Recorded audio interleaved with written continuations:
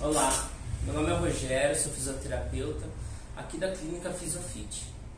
Eu vou mostrar para vocês hoje um dos procedimentos técnicos que a gente usa para tratamento de coluna. Primeiro, quando o paciente chega ao consultório, ele passa por uma avaliação. E nessa avaliação é realizado alguns testes.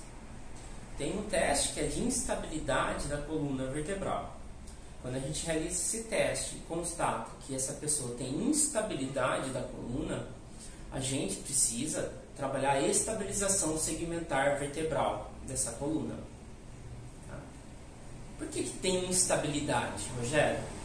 No caso de fraqueza muscular, sedentarismo, né?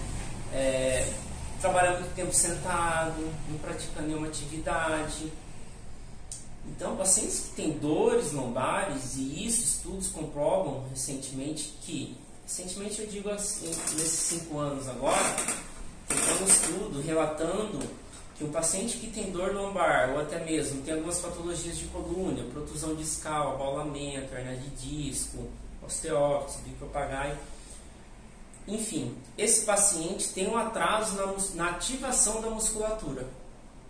Tá? Então, é, esse paciente precisa fortalecer.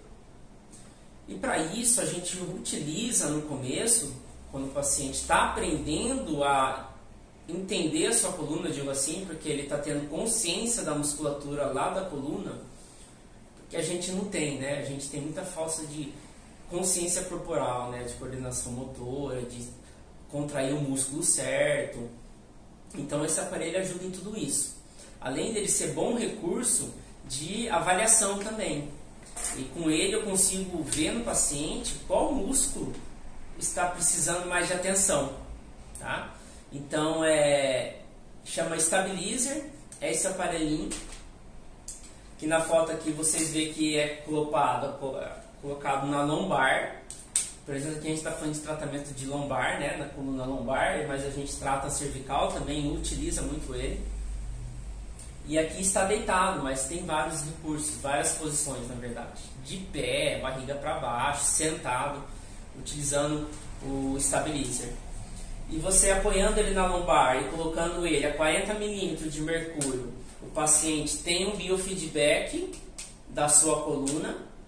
A partir do momento que eu peço para ele realizar algum movimento, tanto pode ser um movimento bem inicial ou até mesmo movimentos mais avançados, ele começa a ver aqui é, se a sua coluna está conseguindo manter estabilizada. Por quê? Eu peço para ele manter no 40 milímetros de mercúrio e a partir, vamos pegar essa imagem, quando ele levanta a perna e desce, tem que manter no 40 milímetros de mercúrio, manter estabilizado.